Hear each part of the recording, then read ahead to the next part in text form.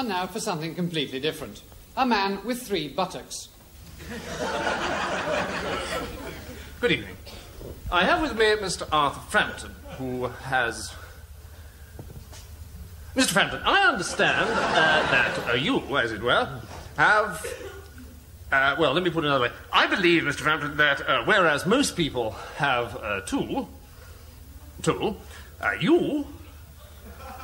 You. I'm sorry? Ah, yes, yes, I see. Um, are you quite comfortable? It's fine, thank you. Um, Mr. Frampton, vis-a-vis your rump. I beg your pardon? Uh, your rump. What? Uh, your uh, posterior. Derriere. Sit upon. What's that? Buttons. Oh, me bums! Mr. Frampton, I understand, Mr. Frampton, that you have a um, 50% bonus in the in the region of uh, what you said. I've got three cheeks. Yes, yes, splendid, splendid. Well, we were wondering, Mr. Frampton, if you could uh, see your way clear.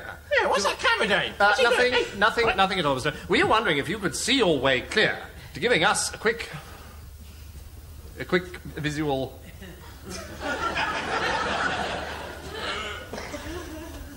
Mr. Frampton, will you take your trousers down? What? Ian, get off! I'm not taking my trousers off on television. Who do you think I am? Please take them down. No. Just a little bit. No. Now, uh, now look here, Mr. Frampton. It's uh, perfectly easy for somebody just to come along here to the BBC, um, simply claiming that they have a bit to spare in the body department. The point is, Mr. Frampton, our viewers need proof. I've been on Persian radio. Get off! Well, I think it's nerds have got three buttocks. How? We go cycling together.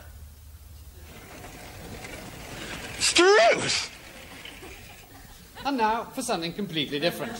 A man with three buttocks. Good evening. I have with me Mr. Arthur Frampton, who.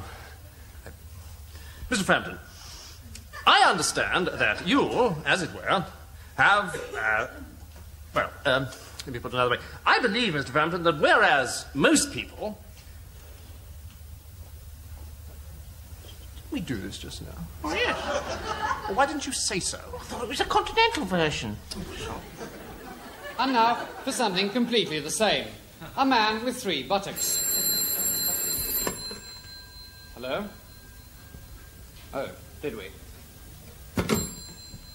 And now for something completely different. A man with three noses. Oh, he's not here yet. Two noses?